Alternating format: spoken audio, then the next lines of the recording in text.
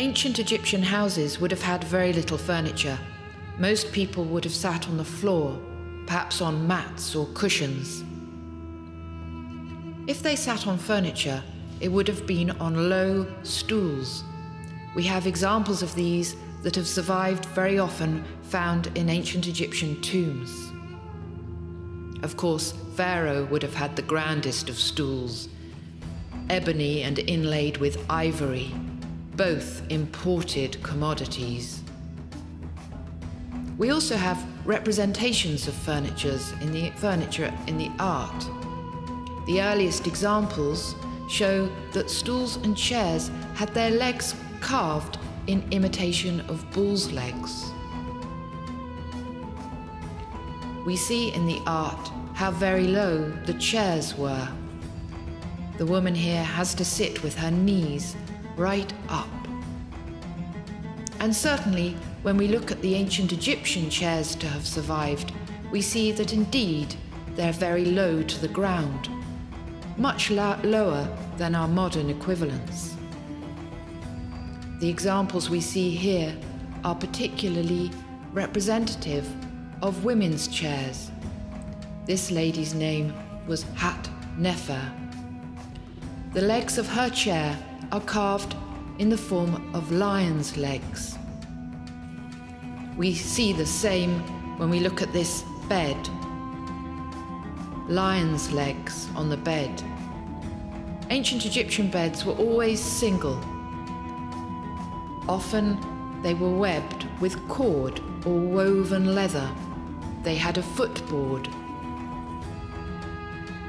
When we see guests seated on higher chairs off the ground, they are clearly the most esteemed guests. The chairs here, painted black, they must be made of ebony. Certainly, only the very wealthy would have been able to uh, use such imported timbers. Wood was rare in Egypt.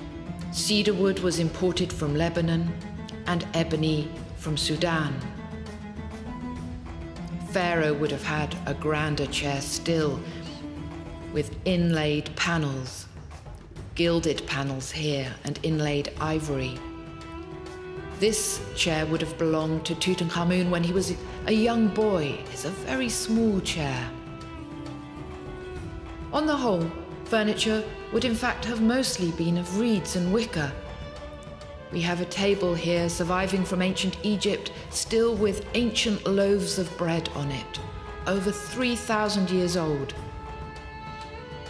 Chests and baskets were used for storing all sorts of things bedding, clothing, vessels, toilet and cosmetic equipment, jewelry and tools, you name it, it would have been stored in baskets and chests. The most elaborate, elaborate examples of chests and boxes were made from a wide range of material. This one is particularly fine. It was found in the tomb of Tutankhamun and is elaborately decorated. The ancient Egyptians wished for an afterlife, and so they were buried with all manner of objects of daily use, including furniture. And on the wall of the tomb of Ramses on the west bank in Luxor, we see offering bearers arriving at the tomb with a bed and headrest, with chests and a chair.